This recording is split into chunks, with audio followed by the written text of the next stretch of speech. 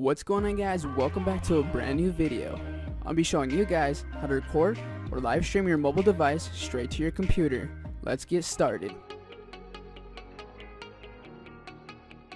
Go to this website, lonelyscreen.com. The link will be down in the description down below. What you guys want to go ahead and do is click download for Windows, or if you're using another computer device, go ahead and go down here where it says please click here, and it should direct you to another link for your device. After you get Lonely Screen downloaded and installed on your computer, you guys want to locate it on your desktop and go ahead and open it. And it should look like this. You guys could also rename it so you guys can find it on your phone or your mobile device easier. You guys want to go ahead and head over to your mobile device, slide down on the screen, and just make sure your internet or Wi-Fi is on and connected, otherwise this will not work. Click on screen mirroring, and click on my lonely screen. Just give it a few seconds and it should automatically connect.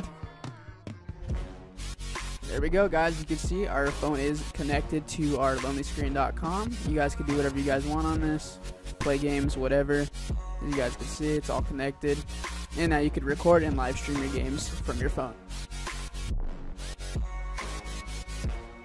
What you guys want to go ahead and do if you guys do not already have this program downloaded and installed, you guys want to go ahead and get OBS Studios.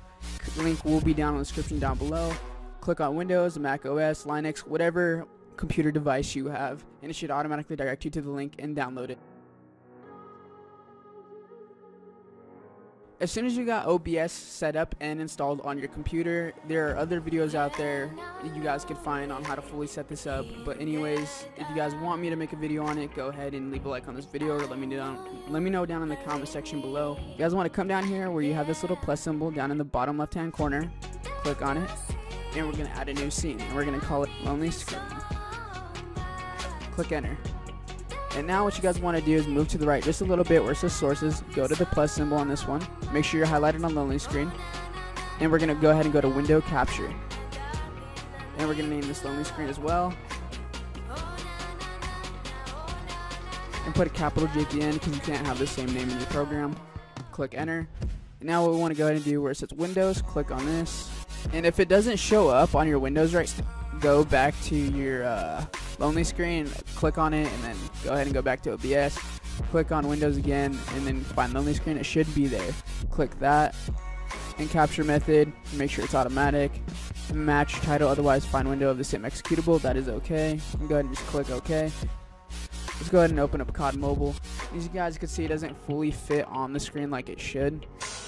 So if you guys want this to fully fit, just go ahead and click on the lonely screen and see how it highlights this red border you guys want to go ahead and hold shift and just pull down so it fits on the screen like it should. There we go. That fits. Go up to the top. Do the same thing until it fully fits on the screen.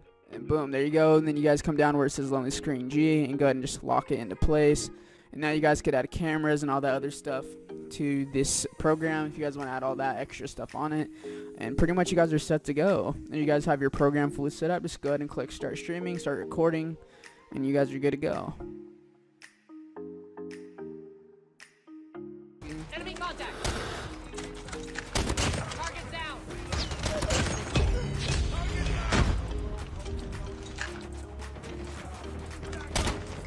Marker.